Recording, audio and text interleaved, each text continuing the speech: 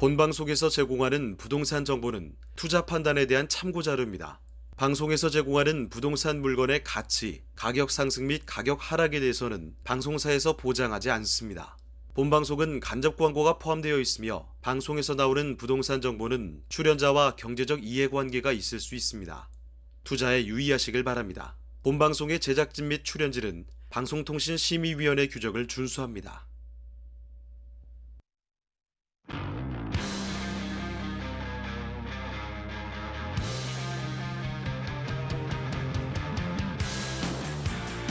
부동산의 모든 고민이 통하는 길 부동산 시그널 안녕하세요 진행의 한보람입니다. 금통위가 6차례 연속 금리를 인상하면서 기준금리가 3.25%까지 높아졌습니다. 다만 0.25%포인트를 높이는 베이비 스텝을 단행하면서 금리 인상 속도 조절에 나섰는데요. 전문가들은 한은이 속도 조절에 나선 것은 다행이지만 이미 부담이 이자 부담은 더욱더 커지고 또 부동산 시장의 위축은 당분간 이어질 것으로 전망하고 있습니다. 특히나 이른바 영끌족의 부담이 가중되고 대출 수요자들의 자금 조달이 제한이 되는 만큼 정책적인 대응도 필요하다라는 목소리가 나오고 있는 상황입니다. 자, 부동산 시그널 오늘도 여러분의 부동산 투자에 도움이 되는 다양한 정보들 준비되어 있습니다. 방송을 시청하시다가 궁금한 사항 있으시거나 전문가와 조금 더 자세한 상담을 원하신다면 문의 전화 주시기 바랍니다. 서울 전화 022128-8504번, 022128-8504번이고요. 문자로도 상담 가능합니다. 궁금한 점 남겨주시면 친절하게 상담 도와드리도록 하겠습니다. 자, 그리고 카카오 채널을 통해서도 상담 가능하신데요. 카카오톡에서 토마토 집통을 검색하시고 채널을 추가하시면 다양한 정보들과 소식들 받아보시고 궁금한 내용들 남겨주시길 바라겠습니다. 저희가 방송을 통해서 생생하게 상담 도와드리겠습니다. 자, 그리고 유튜브 실시간 채팅으로도 참여가 가능하십니다. 유튜브에 토마토 집통 검색하시거나 주소 직접 입력하고 들어오시면 되겠고요. 여러분들의 시그널을 보내주시기 바랍니다. 자, 그럼 부동산 시그널 참여 방법 보시고요. 본격적으로 출발합니다. 당신의 부동산 물음표 시그널을 보내주세요. 부동산 해결사가 당신의 고민을 해결해 드립니다. 첫 번째, 전화 또는 문자를 통해 당신의 궁금증을 속 시원하게 해결해 드립니다. 02-2128-8504번으로 시청자 여러분의 부동산 고민을 접수. 토마토 집통 부동산 전문가가 당신의 고민을 해결해 드립니다. 두 번째, 유튜브에 토마토 집통을 검색. 유튜브 라이브를 통해 실시간으로 방송에 참여할 수 있습니다. 채팅창에 여러분의 부동산 궁금증을 올려주시면 바로바로 해결해 드립니다. 부동산 물음표가 느낌표로 바뀌는 시간. 부동산 시그널. 당신의 부동산의 해결사가 되어드립니다. 네, 오늘 함께 해 주실 전문가 소개해 드리겠습니다. JYP 홀딩스의 박성규 대표님과 함께합니다. 대표님 안녕하세요. 네, 안녕하십니까. 네, 그럼 오늘도 박성규 대표님과 함께 여러분들의 부동산 궁금증 속 시원하게 해결해 보도록 하겠습니다. 자, 그럼 먼저 첫 번째 상담부터 바로 만나볼게요. 문자로 보내주신 사연 확인합니다. 안녕하세요. 원효로 사가 빌라와 전농 9구역의 빌라를 소유하고 있습니다. 원효 사가는 가로주택을 진행한다고 하고요. 전농 9구역은 공공개발 공람 중입니다. 5년 재당첨 금지에 걸리나요? 그리고 전농 9구역은 현재 구역 지정 공람 중인데 일반적으로 관리 처분 인가까지 몇 년 정도 걸릴까요? 라는 질문 남겨주셨네요. 자, 원효로 사가와 전농 9구역의 다세대 주택 두 채를 보유하고 있는 상황이고요. 재당첨 제한에 대한 내용 그리고 이 전농 9구역의 앞으로 개발에 대한 진행 상황들을 한번 체크해 봐야 될 것 같습니다. 대표님 어떨까요? 결, 결, 결론. 네, 재당첨에 걸리고요. 걸리고요. 걸리고요. 두 번째 공공재개발 갔을 때 구역 지정부터 그리고 관리 처분까지 약, 약 3년. 3년. 보시면 되는데 네. 자, 이 내용 같은 경우에는 지금 그 저희가 진행하고 있는 오픈 채팅방에 올라와 있는 실시간 채팅 내용을 지금 준비를 해봤습니다. 자, 원효로 사가의 빌라와 전농 9구역의 빌라를 가지고 계시고요. 전농 9구역 같은 경우에는 2020년도에 공공재개발 1차 후보지로 지정되면서 현재 지금 진행 중에 있죠. 자, 요 내용을 지금 우리 질문하신 내용을 어떻게 봐야 되냐면 어, 제가 결론을 말씀드렸지만 결론이 도출되기 전까지 하기 위해서는 법령을 봐야 됩니다. 모든 어, 주택법이나 아니면은 세금에 대해서 세, 세법 등 법령을 분석해서 분석해서 결과를 도출하는 게 굉장히 현 어려운 경기 속에서는 좀 확실하지 않을까라고 말씀을 좀 드리겠고요. 자, 재당점 제한. 재당점 제한에 대한 거를 일반적으로 한번 제가 한번 주- 준비를 해서 한번 말씀을 좀 드려보겠습니다. 자, 주택 공부에 관한 규칙 제 54조입니다. 54조에는 재당첨 제한이 나와 있고요. 아, 바로 앞에 있는 53조에는 주택 공부에 관한 규칙 자격 요건이 신청 자격 요건이 나와 있습니다. 재당첨 제한에 대한 54조인데요. 내용을 지금 하나의 표로 만들어 봤을 때 보시는 대로 투기 과열 지구, 분상 분상 분양가 상한제가 걸려 있는 주택에 당첨된 주택 같은 경우에는 저- 재당첨 적용 기간이 10년이 적용이 되고요. 청약 과열 지구, 조정 대상 지역이라고 하죠. 그 지역 같은 경우에도 지역이 10년이 아니라 여기는 지금 잘못되어 있네요. 7년이네요. 7년. 자, 그리고 토지 임대부 주택 그리고 투기 과열 지구 내 정비 조합. 우리 시청자분께서 문의하신 내용이 내용이 지금 투기 과열 지구 내의 정비 조합에 대한 해당 사항이 있기 때문에 그 지역 같은 경우는 이 지역도 10년이 아니라 5년이다라고 말씀드릴 수가 있습니다. 5년에 걸립니다. 자, 그 아래쪽은 면적 대비해서 5년, 3년, 3년, 1년으로 들어가는데요. 그러면 법령을 좀 보겠습니다. 자, 주택 공부에 관한 규칙 54조 2항입니다. 2항의 3호인데요. 자, 보시는 대로 3호 내용을 본다고 하게 되면 당첨된 주택이 제1항 제5호 아까 전에 봤던 토지 임대주택입니다.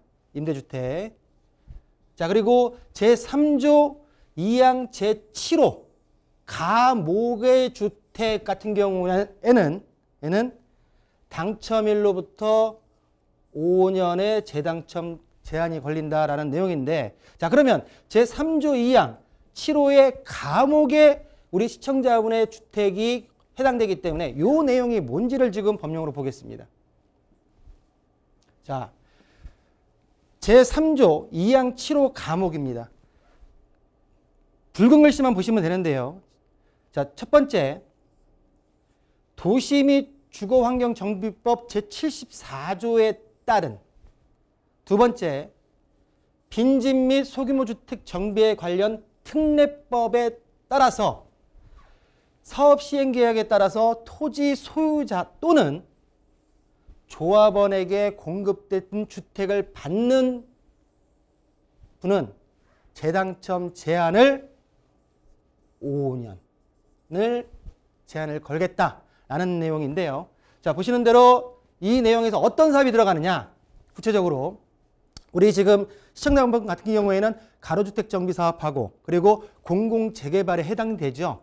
자, 도정법 같은 경우에는 신통기획 재개발, 공공 재개발, 우리 신- 시청자분께서 전농 9구역이 걸려 있는 공공 재개발, 그리고 정비 계획에 의한 역세권 시프트 재개발 사업, 그리고 일반 재개발과 일반 재건축에 들어가는 모든 사업이 해당된다라고 말씀드릴 수가 있겠고 또한 빈집 및 소규모 주택 정비 사업에 관한 특례법 같은 경우에는 가로주택 정비 사업과 그리고 소규모 재건축 사업에 해당되는 토지 소유자 등 또는 토- 조합원으로서의 주택 공급을 받는 분들에게는 재당첨 제한에 5년이 제한된다라는 걸 법령으로 알 수가 있다라고 정리를 해드리고요. 자, 그리고 두 번째 질문이셨죠?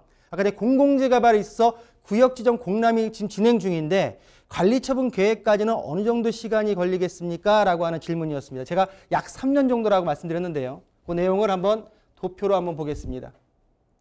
자, 공공재개발의 절차입니다. 1단계 같은 경우에는 한 6개월 정도 단축이 됐죠. 굉장히 단축돼 가지고 진행이 되고 있고요. 자, 2단계 같은 경우에는 보시는 대로 사업 시행자 지정 및 정비 계획 수립이 약 14개월 정도가 소요된다라고 말씀드리면서 현재 지금 지구 지정부터 부터 사업 시행 인가 그리고 관리 처분 계획까지 약 대략적으로 한 32개월 정도 33년에서 한 4개월 정도 빠지는 시- 시간이 걸리고 추후에 추후에 착공까지는 2주 철거 착공까지 한 18개월 정도가 소요되기 때문에 정부 차원에서는 한 5년 정도를 얘기했지만 제가 보는 견해에서는 한 6년 정도, 5년에서 6년 정도의 기간 소요가 착공까지 소요가 된다라고 우리 시청자분의 공공재개발 절차까지 한번 정리하는 시간이었다라고 정리해드리겠습니다. 자, 법령 분석을 통해서 질문에 대한 해답을 전해드렸습니다. 일단 5년 재당첨 제한에 해당이 되신다는 거, 그리고 전농 구구역 같은 경우는 약 3년에서 또 착공까지는 최대 6년까지도 시간이 필요하다라는 점을 정리해 보시면 될 것 같네요. 자, 계속해서 박성규 대표님과 함께 여러분들의 부동산 궁금증 해결 도와드리고 있고요. 저희 계속해서 다음 상담 만나보도록 하겠습니다. 자, 이번에도 오픈 채팅 문자로 보내주신 사연이고요. 안녕하세요. 창동 3단지 아파트를 갭으로 구매한 지 3년 차입니다. 계속 전세를 주고 있는 상황인데요. 조합 설립인가 전에 매도를 해야 되는 건지 아니면 조금 더 가지고 가서 입주가 부족한 서울에서 재건축까지 보유를 해야 되는 건지 궁금합니다. 라는 질문 보내주셨어요. 자, 이번에는 서울시 도봉구 창동으로 한번 가보도록 하겠습니다. 어, 요 매도 타이밍을 좀 고민하시는 것 같은데요. 재건축과 관련해서 또 전망도 체크해 보면 좋을 것 같은데요. 현재 지금 많은 언론에서 노도강에 네. 대해서 많은 지금 어떤 언론 기사가 나오고 있죠. 서울권 내에서 가장 많이 지금 하락폭이 크다. 그래서 뭐 영끌했던 분들이 많이 들어간 지역이다 보니까 많이 힘든 지역이다. 거래량도 없다. 뭐 등등해서 굉장히 많은 무수한 기사가 나오고 있습니다. 그렇죠? 자, 일단은 현재 지금 그 지난 그 규제 지역 해제 때 서울 전역은 그대로 놔뒀어요. 놔두고 수도권 지역과 지방을 전부 다 지금 푸는 모양새였는데 일단은 지금 이 지역 같은 경우에 제가 지금 이 창동 3단지를 할 그 문의하셨지만 위쪽에 위쪽에 창동 1단지, 2단지, 3단지, 4단지, 17단지, 18단지, 19단지 위쪽에 동화 청솔까지 거의 다 상담을 한번 진행했던 기억이 나요. 그 중에서도 3단지 같은 경우에는 이 단지 중에서도 가장 세대수가 큰 약 2천 거의 3천 세대 가까운 2,800세대의 규모를 가지고 있는 단지인데요. 보시는 대로 이 본 단지들 재거 그 창동의 주공 재건축 단지들 같은 경우에는 1호선과 4호선의 역사인 창동역을 이용할 수가 있고요. 또한 개발 호재로서 GTX C노선이 들어가기 때문에 트리플 역세권이 되는 역세권 내에 있는 재건축 단지다라고 말씀을 드릴 수가 있습니다. 자, 본 아파트 같은 경우는 32개 동에 1856세대고요. 지금 현재 90년도에 준공이 완료돼서 33년 차 아파트입니다. 용적률 중요하죠. 재건축 아파트 중에서는. 자, 용적률 같은 경우에는 창동 3단지 같은 경우는 175%에 그리고 15% 정도의 건폐율을 보유하고 있고요. 자, 가장 위 재건축 그 주공 단지 중에서는 18단지가 130%대로서 용적률이 가장 양호한 재건축이 양호한 그 용적률을 가지고 있다라고 한번 제가 설명을 드린 적이 있는 것 같습니다. 자, 본 아파트 같은 경우에는 18평부터 32평대까지 다양한 평수대로 형성이 되어 있어요. 자, 보시는 대로 가장 세대수가 많은 24평대 같은 경우에는 실거래가가 실거래가가 올 3월 달에 8억 원을 찍었습니다. 2021년도 6월 30일 날 실거래가가 8억 7천까지 7억 8까지 찍었다가 현재 지금 8억 원. 그렇지만 그 이후에 지금 거래가 3월 이후부터 거래가 없었기 때문에 이 지역을 제가 어, 현지에다가 한번 조사를 한번 해봤더니 현재 이 단지도 6억대 후반에 지금 물건이 현재 지금 부동산에 나와 있는 걸로 확인이 됩니다. 만약에 이 분위기가 계속된다고 하게 되면 어, 실거래가가 8억대에서 6억대 후반까지도 지금 내려갈 수 있는 그런 분위기에 있는 어, 지금 현재 부동산 시장이다라고 말씀을 드릴 수가 있는데요. 자, 이 지역 같은 게 말씀하신 대로 투기 과열 지구 내에 서울이죠. 그리고 투기 과열 지구 같은 경우 정비 사업에 있어서 특히 재건축 같은 경우에는 조합 설립 인가부터 소유권 이전 등기까지 소유권에 대한 지위, 소유권 지위 양도를 할 수가 없습니다. 그러다 보니까 이제 우리 시청자분께서는 조합 설립 전에 한번 매도를 할까요? 아니면 소유권 이전까지 가서 재건축 다 보고 나서 매도를 할까요? 라고 하는 질문인데 자 그러면 이 지역에 우리 입주 물량을 말씀하셨으니까 분명히 제가 공급 물량과 입주 물량은 틀리다고 말씀드렸어요. 공급 물량은 인허가 난 물량이고요. 앞으로 입주되려고 하면 최소 3년에서 5년이 있어야 돼요. 입주 물량은 인허가 나서 착공이 들어가서 건물이 올라가서 이젠 전세든 실소유든 들어갈 수 있는 물량이 입주 물량입니다. 이 지역의 입주 물량을 좀 보겠습니다. 입주 물량이 지금 그 사이트상 지금 문제가 있어서 안 열리는데요. 지금 전체적으로 도봉구 같은 경우에는 이 도봉구 같은 그 같은 경우에는 적정 수요가 약 1년에 한 1,500 정도 세대가 지금 필요합니다. 그렇지만 지금 현재 지금 2020년도 6년도까지 적혀 그 공급되는 입주되는 물량이 300세대에 불과하기 때문에 우리 시청자분께서 어려운 시기 속에서도 그래도 아직까지 입주 물량에 대한 내용을 좀 머릿속에 넣고 계시고요. 저는 결론적으로 여건이 된다고 하게 되면 재건축까지 가져가시는 게 맞다. 그렇지만 지금 뭐 전세를 두고 계시기 때문에 어떤 이자가 안 나간다고 하게 되면 제가 볼 때는 가져가시는 게 맞고요. 그렇지만 전체적으로 여건상 여건상 내가 어떤 이자나 아니면 그런 어떤 시장에 있어서 동요가 굉장히 큰 상황이라고 한다고 하게 되면 매도가 맞겠지만 매도를 하려 한다 하더라도 지금 3년 전의 가격에 가장 뭐 큰 수익 없이 지금 매도를 해야 되기 때문에 전반적으로 본 내용 같은 경우에는 여건이 되신다고 하게 되면 가져가시는 게 맞다라고 정리하겠습니다. 어, 지금 눈에 띄는 하락에 대한 이야기 그리고 기사에서도 워낙에 이 지역에 대한 우려들이 나오고 있다 보니까 시청자분께서도 많은 걱정이 되셨을 것 같습니다. 자, 지역에 대해서 조금 더 꼼꼼하게 분석을 도와드렸고요. 시청자님의 상황에 따라서 조금 더 보유를 해보는 게 어떨까라는 조언도 함께 전해드렸거든요. 입주 물량에 대한 부분까지 한번 다시 한번 체크를 해보시면서 상황에 맞는 선택, 현명한 선택 꼭 해보시길 바라겠습니다. 자, 저희 부동산 시그널 계속해서 상담 창구 열려 있습니다. 궁금한 내용들 계속해서 저희한테 보내주시면 되겠고요. 02-2128-8504번, 2128-8504번 활짝 열어두겠습니다. 자, 그럼 다음 상담 만나보겠습니다. 이번에도 문자로 보내주셨고요. 안녕하세요. 하남시 미사 5단지 루나리움 전망과 25평형 매수 가격 7억 선인데 적정 여부가 궁금합니다. 라는 문자 보내주셨거든요. 하남시 미사 강변에 위치한 아파트입니다. 앞으로의 전망이 어떠한지 그리고 매수가가 어느 정도에 좀 적정할지 아마 매수 고민을 하고 계신 것 같기도 한데요. 이 지역은 어떻게 보시나요? 그러니까 매수가의 적정성을 여쭤볼 때가 가장 제가 답변하기가 애매합니다. 왜냐하면 이제 그런 어떤 제가 매수가의 적정성을 말씀드렸을 때 현재 지금 거주하시는 분들의 어떤 매도 물량도 나와 있기 때문에 어 이게 적정하다라고 하게 되면 그 제 뭐 의견이 전부는 아니겠지만은 그런 게 반영이 될 수 있기 때문에 제가 좀 조심스럽게 말씀을 좀 드리고요. 어, 어 일단은 지금 보겠습니다. 자, 본 미사강변 루나디마 아파트입니다. 자, 위쪽으로는 한강, 그리고 강일아이 씨, 올림픽대로, 양양 고속도로, 서울 양양 고속도로의 주, 그 위치에 있고요. 서울 외곽순환고속도로를 이용할 수 있는 위치에 있습니다. 자, 가장 가까운 역은 보시는 대로 아래쪽에 5호선 강일역과 5호선 미사역이 약 1km 남짓 지금 떨어져 있고요. 자, 보시는 대로 본 아파트 같은 경우에는 9호선 강일역이 예정되어 있는 위치에 있다라고 말씀을 드릴 수가 있겠습니다. 자, 본 아파트 같은 경우에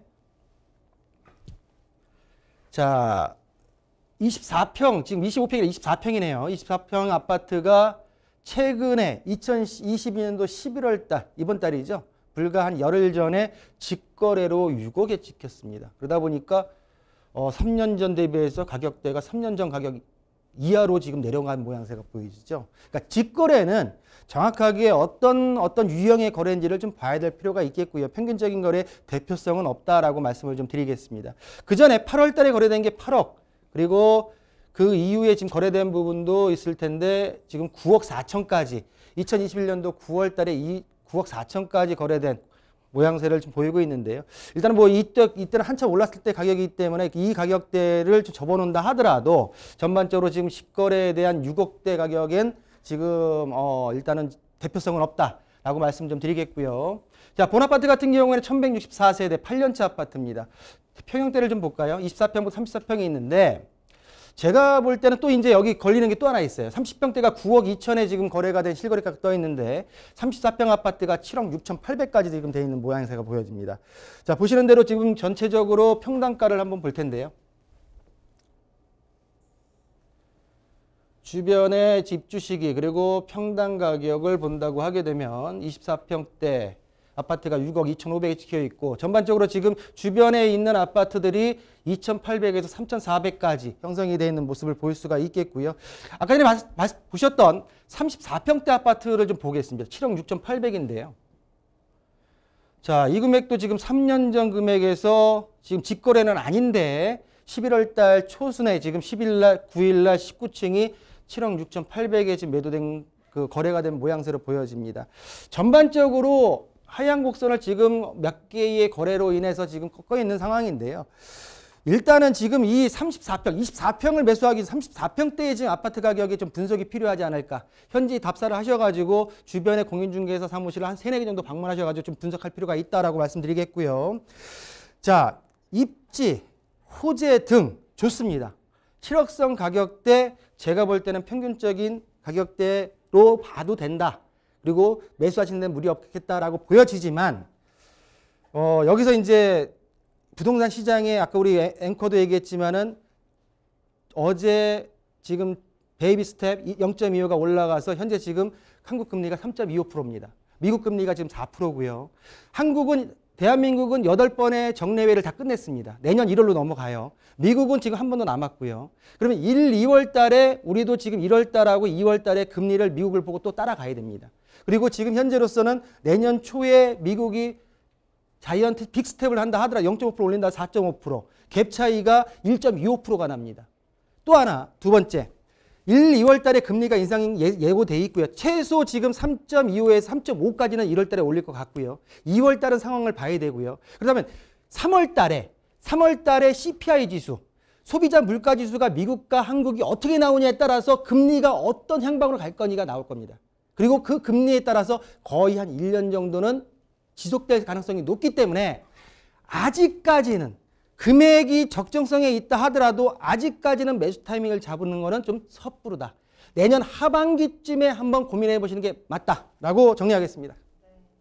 자, 적정한 가격 분석에 대해서는 직접 발로 뛰시면서 확인을 해보시는 게 가장 확실한 가격대가 될 것 같고요. 다만 현재 부동산 시장의 상황이 계속 고금리 상황에 놓여 있는 상황이기 때문에 이 부분을 잘 고려하셔서 매수 타이밍은 조금 더 기다려보는 게 좀 안전하지 않을까라는 의견까지 한번 참고해 보시길 바라겠습니다.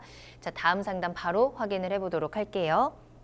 자, 안녕하세요. 경기도 고양시 덕양구 무원마을 9단지 48평을 보유하고 있는데요. 재개발과 또 향후 전망은 어떤지 궁금합니다. 라는 질문 남겨주셨습니다. 이번에는 고양시로 한번 가보도록 할게요. 재개발 전망을 좀 보고 계시는 것 같은데 오늘따라 또 이 지역에, 이 재개발에 대한 질문들이 굉장히 음, 또 많이 오네요. 재개발은 아니고요. 재건축에 대한 재건축이에요. 재건축입니다. 질문 내용을 우리 시청자분께서 재개발을 하셨는데 음, 이 지역은 재건축. 재건축에 대한 내용입니다. 자, 무원마을입니다. 무원마을. 이 지역도 제가 요 아파트들을 몇 군데를 했던 것 같아요. 맞아요. 지금 요렇게 라인을 제가 라인을 긋는 이 지역이 무원마을입니다. 1단지부터 10단지까지 있고요. 바로 앞쪽에 KTX 그리고 경의중앙선 행신역을 이용할 수가 있고요. 자, 보시는 대로 지금 우리 그 시청자분께서는 48평에 대를 소유하고 계신다고 했어요. 그 48평이 있는 단지는 단지는 3단지, 3단지 그리고 8단지 9단지가 48평이 평형대가 있는 단지입니다. 이 세 개 단지 중에 한 곳에서 지금 거주하고 계신 거라 지금 보여지고요. 자, 보시는 대로 본 이- 전체적으로 아파트의 입주 시기는 1994년도 약간 일기 신도시보다 한 1, 2년 정도 뒤쪽에 지금 모든 준공이 완료된 아파트들이다라고 말씀 드릴 수가 있겠고요. 자, 그러면 은 어, 이 지금 현 상황에서 봤을 때 현상에서 봤을 때 전체적으로 무원마을의 아파트들의 용적률을 보겠습니다. 자, 용적률을 보시면 전반적으로 최고 낮은 게 207%부터 그리고 266%의 용적률을 보유하고 있고요. 지금 3단지, 8단지, 6단지 같은 경우에는 3단지 같은 경우에는 232% 그리고 어, 8단지 같은 경우는 266%, 그 9단지 같은 경우는 259%이기 때문에 전반적으로 용적률이 상에 올라가 있다. 그 대, 대, 다 찾아먹은 용적률이다라고 좀 말씀드릴 수가 있기 때문에 재건축에는 좀 불리하지 않을까 본 단지들이라고 말씀드릴 수가 있는데 자 그러면 대지 지분 보겠습니다. 본 아파트의 대지 지분 갑니다. 자, 본 아파트 같은 경우에는 세대수가 세대수가 전반적으로 지금 무원마을 세대수가 약 4천 한 500세대가 채못 미터지고요. 4,500세대의 재건축은 굉장히 큰 단지죠. 하지만 본 아파트 같은 경우는 제2종 일반 주거 지역에 토지를 깔고 있는 단지들이다라고 말씀드릴 수가 있, 있으면서 자, 본 대지 지분이 용적률을 보겠습니다. 자, 본 아파트 같은 경우에 전반적으로 대지 지분이 11평부터 17평대까지 무원마을이 형성이 되었고요. 평, 그 세대당 대지 지분이 지금 본다고 하게 되면은 3단지, 8단지, 9단지 같은 경우에는 보시는 대로 15.6평. 자, 보실까요? 15.6평. 그리고 14.4평. 그리고 14.9평이 되어 있기 때문에 일반적인 어떤 평형 그 공급 면적 대비 일반적인 대지 지분이다라고 말씀드리면서 전반적으로 사업성, 가능성 측면에서 향후 재건축보다는 리모델링으로 갈 가능성이 높은 단지들이다 라고 정리하겠습니다. 있습니다.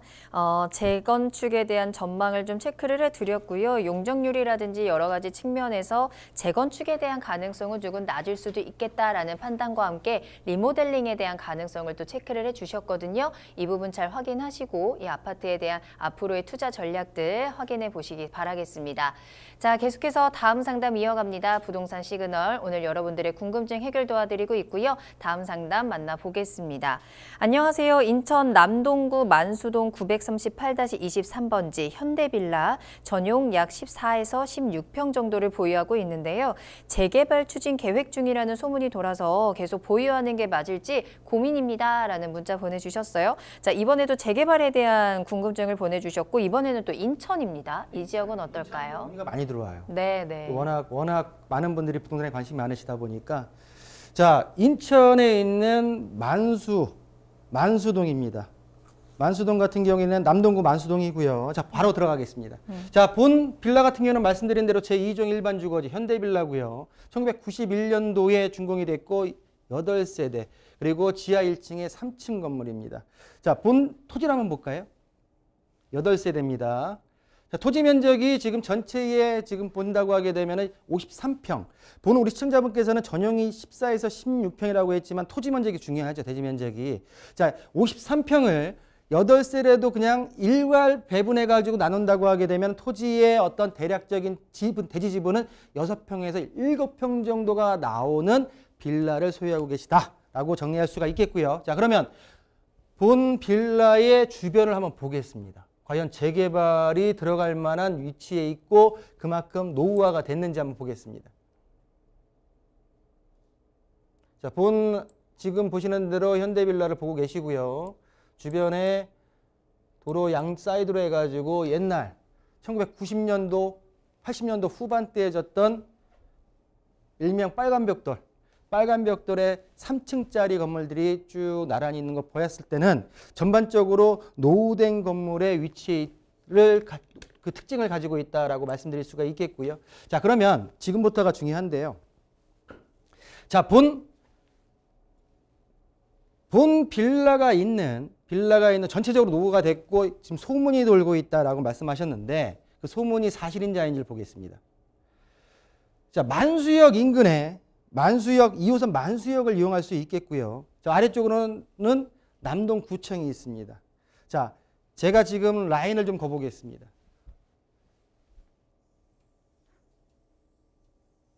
이 지역을 가칭, 가칭 만수 본물건이 들어가 있는 만수 1구역이라고 하고요. 가칭입니다. 가칭. 자, 좀 줄여야 되겠네요. 네 군데가 있기 때문에 자, 보겠습니다. 위쪽으로 더 올라가야 되니까 자 됐습니다. 자 보시는 대로 지금 제가 라인을 긋는 이 지금 물건이 들어가 있는 걸 1, 그리고 문일 여자고등학교 뒤편 만수역 아래쪽으로 해가지고 요 지역이 2, 위쪽으로 만수동 5 행정구역 있는 지역이 3, 그리고 위쪽으로 만수 인천 동부 초등학교 있는 지역을 만수 동부 구역으로 해서 네개 구역에 네개 구역에 현재 현재 초기 재개발 단계인 추진 단계, 준비 단계인 동의서가 진구 중입니다. 그렇기 때문에 소문만은 아니었다. 시간은 오래 걸리겠지만 현재의 가치보다는 훨씬 더 미래 가치의 상승이 예상된다. 보유하셔라 라고 정리하겠습니다. 사실로 판명이 됐습니다. 어, 재개발 추진에 대해서 조금씩 시작하는 모습들이 나타나고 있고 따라서 재개발이 추진이 된다면 앞으로 미래 가치 상승에 대한 부분도 긍정적으로 좀 봐주셨거든요. 보유 의견 함께 전해드렸습니다. 참고해 보시길 바랄게요. 자, 박성규 대표님과 함께하는 부동산 시그널 부동산 궁금증 해결 도와드리고 있고요. 여러분들 전화 문자뿐만 아니라 카카오 채널을 통해서도 실시간 상담이 가능하십니다. 카카오톡에서 토마토 지통 검색하시고 채널 추가를 하신 다 음에 궁금한 점 남겨주세요. 저희가 또 방송을 통해서 그에 대한 상담 내용도 친절하게 도움드리도록 하겠습니다. 자, 그럼 다음 상담 내용도 또 만나보도록 할게요. 이번에도 인천에 대한 궁금증을 함께 보내주셨는데요. 안녕하세요. 인천시 부평구 부계동입니다. 우길, 대진, 동아, 대동 4개 아파트가 현재 예비 안전진단이 통과된 상태인데요. 세대수는 1,818가구이고요. 88년에서 89년 사이에 지어진 아파트입니다. 재건축이 가능한지 궁금합니다. 라는 질문 보내주셨습니다. 어, 지어진 지 30년이 훌쩍 넘은 아파트들이고요. 이미 안전, 예비 안전 진단은 또 통과가 된 상태라고 하는데 그렇죠. 재건축에 대한 전망은 어떻게 보세요? 자, 올 4월 3월 달에 예비 안전 진단이 통과됐습니다. 음, 제가 볼 때는 다음 달에 어, 재건축 정비 사업에 대한 어떤 일기 신도시 용적률의 완화대한 내용이 나오기 때문에 네. 전반적으로 그 일기 신도시의 특별뿐만이 아니라 그 연도 준공 연수와 비슷한 지역의 아파트들을 아우르지 않을까라고 판단이 좀 들고요. 그러면 이제 정밀 안전 진단에 있어서 좀 통과 여부가 좀 수월하지 않을까라고 판단이 드는데 한번 보겠습니다. 자, 본 아파트 네개입니다 우길, 대동, 대진, 동아 아파트. 보시는 대로 아까 말씀드린 아, 우리 신장부터 말씀하신 대로 2022년 3월 달에 예비 안전이 통과됐고요. 통합 재건축이 진행되고 있습니다. 바로 인 7호선 굴포천역에 붙어 있고요. 붙어 있고요. 바로 인근에 공공주택 복합 사업 4차 그리고 뒤쪽으로는 북의 4구역의 인근에 있는 아파트 단지의 재건축 통합 단지다라고 말씀드릴 수가 있겠습니다. 자, 보- 그러면 일단 지금 아까 말씀하신 대로 네 개의 아파트들을 지적을 좀 봐야 되겠네, 일단. 자, 지적도를 보게 되면 본 토지, 본 아파트들이 있는 본 아파트들이 깔고 있는 토지의 용도는 제2종 일반 주거 지역이 아니라 제3종 일반 주거 지역입니다. 일단 용도상 우월한 용도를 가지고 있고요. 재건축에 더 용이한 용도를 가지고 있다라고 말씀드릴 수가 있겠고 우리 시청자분께서 말씀하셨듯이 우길, 대동, 대진, 동아의 아파트를 다 세대수를 합한다고 하게 되면 1818세대입니다. 18세대고요. 보시는 대로 입주 시기가 입주 시기가 입주 시기를 본다고 하게 되면 말씀하신 대로 1888년도부터 올림픽이 열렸던 해부터 지금 보시면 89년도까지 형성이 되어 있고요. 자, 본 아파트 같은 경우에 대지 지분 보겠습니다. 대지 지분을 봤을 때 자, 우길 같은 경우에는 8.8평, 대동 같은 경우는 8.7평, 대진 같은 경우는 8.8평, 그리고 동아 아파트 같은 경우는 9.4평, 8.7평부터 9.4평의 세대당 대지 지분을 보유하고 있다라고 말씀드릴 수가 있겠고요. 그럼 대지 지분과 함께 용적률 보겠습니다. 자, 용적률 같은 경우에도 자, 용적 용적률 떴습니다. 좀 키워 볼까요? 자, 키울 수가 예. 키울 수가 있죠.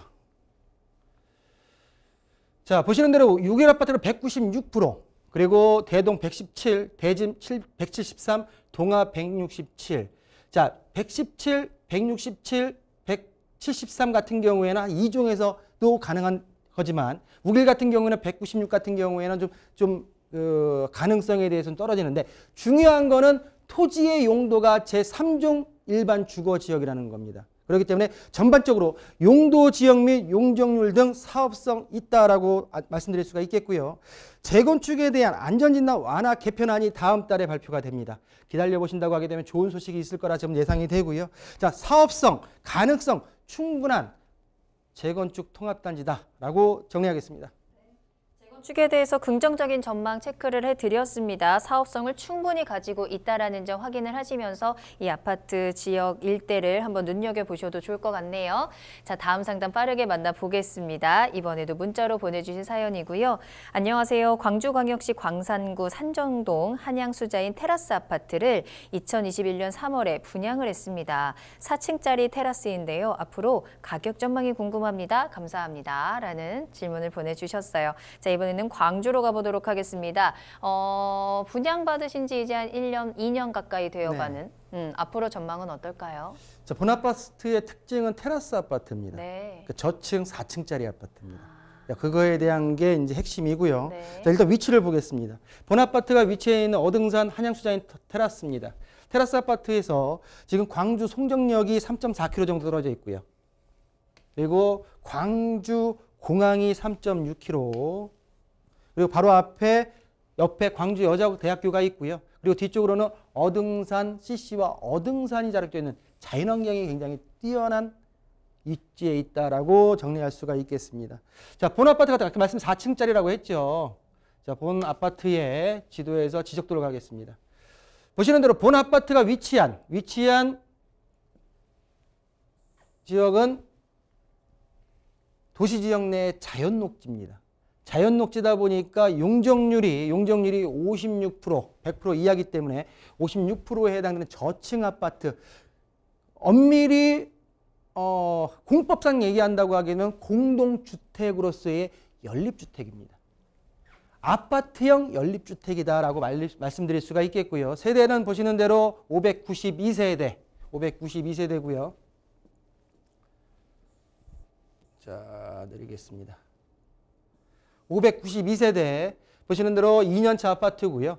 지금 보시는 대로 평형대를 본다고 하게 되면 29평과 32평, 3억 4,500과 3억 8천 정도의 형성이 되어 있는데요. 본 아파트 같은 경우에 분양가가 29평이 3억 2천부터 3억 9천대까지 형성되어 있었고 32평 같은 경우에는 3억 4천부터 4억 2천까지 본 어, 테라스 하우스의 특징은 뭐냐면 층별 서비스 면적의 차이와 층수의 차이에 따라서 분양가가 형성이 된다는 게 차이입니다. 그러다 보니까 이런 어떤 그 테라스 아파트 같은 경우에는 특히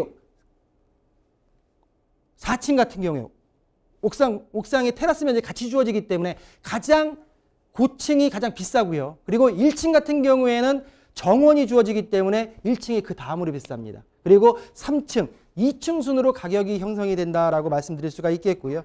제가 볼 때는 본 아파트 같은 경우에는 인근에 있는 인근에 있는 한국 아델리움 1, 2단지의 가격 비교를 봤을 때 가격과 비교했을 때는 그 아파트들을 따라갈 가능성이 비슷하다라고 말씀을 드릴 수가 있는데 중요한 거는 본 테라스 아파트 같은 경우에는 일단은 건너편에 있는 건너편에 있는 2023년도, 2013년도에 지어져 있는 고층 아파트와 비교했을 때는 비교했을 때는 가격적인 상승 압박 그 상승력에 있어서는 역부족의 역부족인 부분이 있다라고 정리할 수가 있겠고요. 전체적으로 그럼 이- 입주 물량을 좀 보겠습니다. 광주 같은 경우에는 광주 전체 같은 경우에도 2020년부터 26년도까지 봤을 때는 2020년도에 입주 물량이 좀 더 많을 뿐 그 이후부터는 입주 물량이 없고요. 그리고 광, 광산구 같은 경우를 본다고 했을 때도 입주 물량이 적정 수요가 2,000세대 그렇지만 그 이하였기 때문에 전반적으로 가격의 상승은 압력은 크진 않겠지만은 보합세로서 인근에 있는 한국 아델리움 1, 2단지와 준해 가지고 가격이 형성되지 않을까라고 정리하겠습니다. 어, 광주광역시 산정동에 위치한 아파트 체크를 좀 해드렸고요. 어, 특징들 한번 짚어드리면서 이 가격 상승에 대한 부분들을 사실 아쉬운 부분이 어느 정도는 있지만 그래도 안정적으로 주변 아파트를 조금 따라갈 수 있는 여지까지 있다라는 점은 한번 확인해 보시면 되겠습니다. 자, 점점 뒤로 갈수록 대표님의 말이 빨라지고 있다라는 걸 여러분들도 느끼실 것 같아요. 한 분이라도 더 빨리 상담해 드리기 위해서 좀 바쁘게 달려가고 있는데요. 계속해서 다음 상담 만나보도록 하겠습니다. 자, 이번에는요. 경기도 광주시 장지동 벽산 블루밍 46평입니다. 매매를 해도 괜찮을까요? 라는 질문 남겨주셨네요. 매수 문의입니다. 이 지역은 어떻게 보세요? 자, 이 지역 같은 경우에도 아들이 이쪽에서 근무를 하고 있는데 네. 어떤 분께서 아들이 어느 쪽으로 그 매수를 해야 되겠냐는 내용을 한번 한 적이 있어요. 그래서 우리가 제가 예전에 했던 데가 광주 이쪽 삼동역 인근 그리고 역동, 광주역, 광, 경기 광주역 그리고 아- 아래쪽에 태전지구 한번 보셔라라고 질문을 드리, 그 답변을 드린 적이 있는데 그 위쪽에 가운데 껴 있는 장지동입니다. 장지 IC 그리고 광주 경찰서 바로 옆에 있는 옆에 있는 아파트 단지 지금 보시는 대로 장지동 벽산 블루밍 1단지와 2단지 아파트입니다. 자, 본 아파트 같은 경우에 아파트 같은 경우에 1단지와 2단지가 있는데요.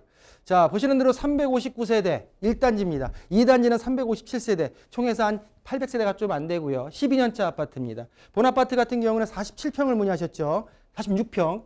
46평 같은 46평 같은 경우에는 현재 최근에 실거래가가 없기 때문에 47평을 봤을 때는 현재 지금 6억 4천 보겠습니다. 가격대를 쭉 전반적으로 하락 없이 3년 대비해서 쭉 전반적으로 지금 우상향 곡선인데요. 중요한 거는 중요한 거는 바로 옆에 있는 2단지입니다. 2단지. 2단지가 지금 1단지와 지금 비교했을 때 같은 평형대가 평형 평단가가 지금 거의 한 3, 400 정도가 차이 나는 게 있는데요. 2단지 한번 보겠습니다. 자, 보시는 대로 본 아파트 같은 경우는 직거래입니다. 직거래다 보니까 아까 말씀드린 대로 직거래에 대한 내용은 좀 더 깊이 들어가기 전까지 대표성에 대한 부여가 지금 제가 볼 때는 의미가 없다라고 말씀드릴 수가 있겠고요. 자, 2011년도에 지어진 아파트들, 지금 파란색 아파트죠. 본 아파트 같은 경우는 1,100만 원에서 1,300만 원대의 평당가가 형성이 되어 있고요. 자, 2024년도에 지금 들어가는 빨간색 아파트 같은 경우에는 1,500에서 지금 현재 1,800만 원대까지 형성이 되어 있습니다. 자, 신구축의 갭 차이가 약 450에서 500만 원 정도가 차이가 납니다. 47평, 6억대의 아파트를 매입할 수 있다고 하게 되면 지금 들어간 게 맞느냐? 아니요. 일단은 예전에 제- 좀 전에도 말씀드렸지만은 말씀드렸지만은 아직은 모든 것들이 불확실성이 좀 해소되고 좀 더 뭔가의 투자에 있어서의 어떤 확실성이 보장까지 아니다 하더라도 불확실성이 거쳐지기 직전에 매수 타임을 잡는 게 옳기 때문에 아직은 아니다. 단 내년 하반기쯤에 상반기 이후 하반기쯤에 다시 한번 이 고민을 해보시는 게 옳지 않을까라고 정리하겠습니다. 네. 자, 매수는 조금 더 신중히 해야 하는 때입니다. 시장 상황이 변화하는 때, 어, 이 시장이 조금 더 안정적으로 자리를 잡아가는 걸 확인하고 나서 저희가 매수를 하는 게 조금 더 안정적인 투자 방법이 될 것 같고요. 그에 대한 이야기도 한번 참고를 해보시길 바라겠습니다. 다음 상담 바로 만나볼게요. 안녕하세요. 수원 입북동 푸르지오에 거주하고 있습니다. 호매실 쪽으로 갈아타기를 하는 게 좋을까요? 아니면 계속 이쪽에 거주를 하는 게 좋을까요? 호매실 쪽 전망이 어떤지 궁금합니다. 라는 질문 남겨주셨어요. 갈아타기를 고민하고 계시는데 어느 쪽의 전망이 더 좋을지 한번 체크해 볼까요? 자, 입북동입니다. 수원시 네. 권성구 입북동 서수원 지역에 지금 자리 잡고 있고요. 호매실 지구 같은 경우에도 서수원 지구의 어떤 신도시다라고 말씀드릴 수가 있는데요. 자, 본 아파트 같은 경우에는 1단지, 2단지로 나눠져 있고요. 지금 보시는 대로 9년차 아파트입니다.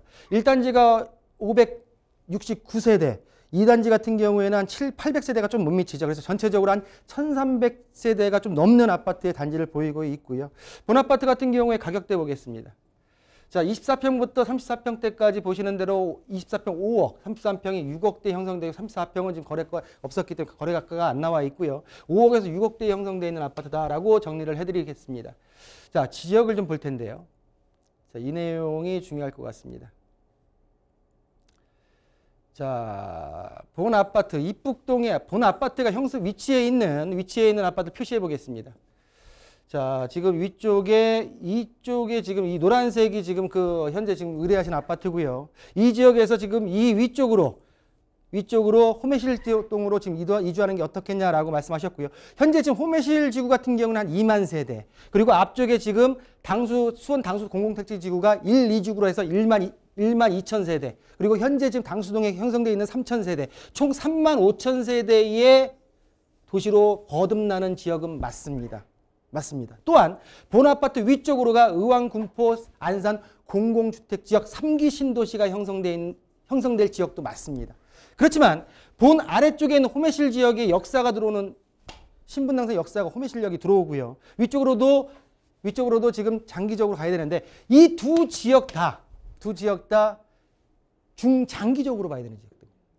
그래서 그래서 제가 제 견해로서 추천드리고 싶은 내용은 뭐냐면 자금력만 어느 정도 비슷하다고 하면 입북동에서 이북동에서 1호선 화서역이 있는 화서역 인근이나 화서역 화서역 인근이나 아니면 시를 갈아타기 위해서 위쪽으로 위쪽으로 의왕시 일대로 이전하시는 게 좀 더 장기적인 안목에서는 효과적인 자산관리 갈아- 갈아타기다라고 정리하겠습니다. 네. 자, 또 다른 갈아타기 지역들, 또 다른 시각들을 함께 제시를 해 주셨네요. 호서역과 그리고 의왕시, 화서역과 의왕시 쪽으로 한 번더 어, 찾아보시면 더 좋을 것 같습니다. 자, 상담 한 가지 더 빠르게 만나볼게요. 안녕하세요. 아는 지인이 토지 매수를 고민하고 있어서 대신 여쭤봅니다. 위치는 평택시 청부급 삼계리 399-69번지로 1435평이고요. 매도가는 평당 26만 5천 원으로 총 3억 8천만 원 이라고 하는데요. 적정한 평당가인지 그리고 현재 가치와 미래 가치 알고 싶어요. 라는 질문. 자, 토지에 대한 상담 한번 이어가 보도록 할게요. 자, 본 토지 같은 경우에는 화성, 화성의 남쪽에 있는 향남 택지지구 아래쪽에 위치해 있고요. 평택 제천고속도로 청북 IC에서 2.2km 정도, 2.4km 정도 떨어져 있습니다. 자, 그리고 2km 정도. 그리고 아래쪽에 청북 택지개발지구에서 한 2km 정도. 그리고 어, 서해선, 서해선 안중역에서 약 지금 현재 한 5km 정도 떨어져 있다라고 말씀드릴 수가 있겠고요. 자, 이 토지에 있어서 그러면 그러면 좀, 좀 지어 보고요. 좀 확대를 시켜 보겠습니다. 자, 본 토지에 본 토지에 점선이 나와 있습니다. 본 토지 바로 옆으로 해서 위쪽으로 올라가는 신설도로 아래쪽으로 지금 가로로 지금 그 가는 신설도로 자 위, 위쪽 아래쪽 같은 경우에는 2와 3개 간 도로고요. 25년도에 개통 예정입니다. 이 도로요. 2025년도에 개통 예정이고요. 자, 위쪽으로 위쪽으로 청북 옥길리에서 옥길리에서 위쪽에 화성 양간면 요당리로 올라가는 이 도지 도로에 인접해 있는 이 도로가 현재 지금 개통이 임박해 있습니다. 자, 이것만 봐서는 본 토지를 매수하는 게 맞겠죠. 그렇지만 토지의 매수는 토지의 어떤 가치는 누누이 말씀드리지만 토지가 가지고 있는 개별적인 특성을 봐야 됩니다. 자, 보겠습니다. 자, 본 토지. 자, 보시는 대로 답이고요. 4,744제곱미터. 말씀하신 토지 같은 경우는 약 1,400평이 넘습니다. 지금 본토지 같은 경우에는 42,500원, 약 개별 공시가가 14만 원 정도의 형성이 되어 있고요. 중요한 건 용도 지역이 농림 지역입니다. 농림 지역으로서 26만 평당 26만 5천 원에 전체 평수를 곱한다고 하게 되면 3억 8천에 매수하는 게 옳겠습니까라고 하는 질문인데 자, 다른 변경에 따른 지역 지구를 본다고 하게 되면 농림 지역에서 농업진흥구역이라는 농지법에 걸리는 내용이 들어가 있습니다. 자, 그러면 본 토지가 도로 개설로 인해서 도로 개설로 인해서 농업진흥구역 우리 옛날 어르신들이 얘기하는 절대 농지입니다. 절대 농지. 농업진흥구역 내의 토지는 농업에 관련된 행위만 해라 라고 하는 게 농지법상 농업진흥구역입니다. 이 농업진흥구역이 해제될 수 있느냐를 봐야 됩니다.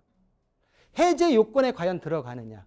우리가 그린벨트를 할 때 그린벨트 해제 요건에 들어가는지를 확인하고 들어가듯이 어, 이런 어떤 토지 같은 경우에는 해제된다고 하게 되게 되면 우리 속된 말로 로또고요. 그렇지만 이게 만약에 해제 못 된다고 한다고 하게 되면 다음 세대까지 물려줘야 되는 토지입니다.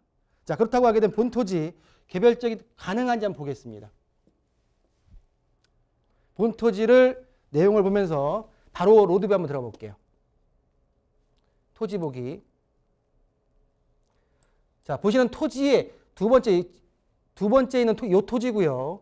지금 위쪽으로가 지금 개설돼 새로 지금 개설되고 있는 토지입니다. 격차가 있어요. 바로 진입이 안 된다는 얘기죠. 아래에는 논이고 위쪽으로 지금 그 양쪽 맨홀을 넣으면서 위쪽으로 다리 다리발이 세워지면서 위로 가는 도로입니다. 그러다 보니까 직접적으로 도로가 진입이 안 되고요. 또한 본토지 같은 경우에 농업진흥구역 해제가 달린다고 하게 되면 도로 개설로 인해서 3만 제곱미터 이하의 농업이 불리하게 농업이 안 되는 상황이 벌어져야 되는데 그런 토지의 일대가 아니다. 그렇기 때문에 해지의 요건에 부합하지 않는다. 현재로서 미래 가치 상승에 대한 현재 가치가 현저히 낮기 때문에 투자에 신중하셔라 라고 정리하겠습니다. 네, 주변에 도로에 대한 호재가 있습니다만 농업진흥구역으로서 개발에 제한이 있을 수 있다라는 점, 토지 모습을 또 직접 확인하면서 체크를 해드렸으니까요. 조금 더 신중한 판단 해보시길 바라겠습니다. 자, 이렇게 오늘 박성규 대표님과 함께 여러분들의 부동산 궁금증 속 시원하게 해결 도와드렸습니다. 어, 오늘 다양한 도움 말씀 주신 박성규 대표님과는 여기서 먼저 인사드리도록 할게요. 대표님 오늘 감사합니다. 감사합니다. 네. 자, 부동산 시그널 저희 방송 끝난 이후에도 상담 접수 계속 받고 있습니다. 여러분들 부동산 궁금증 시그널을 계속해서 보내주시길 바랍니다. 문의 전화 02-2128-8504번, 2128-8504번이고요. 전화와 문자 편하게 이용하시길 바랍니다.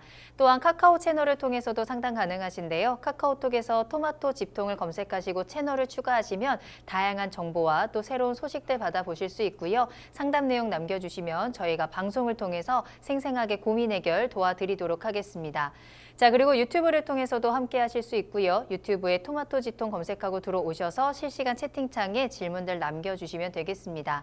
자, 또한 저희 프로그램은 토마토 집통 홈페이지를 통해서 무료로 다시 보기 하실 수 있고요. 여러분들의 다양한 시청 소감도 남겨주시기 바랍니다. 자, 그럼 저희는 다음 이 시간에 더욱더 알찬 정보 가지고 돌아오겠습니다. 시청해주신 여러분 고맙습니다.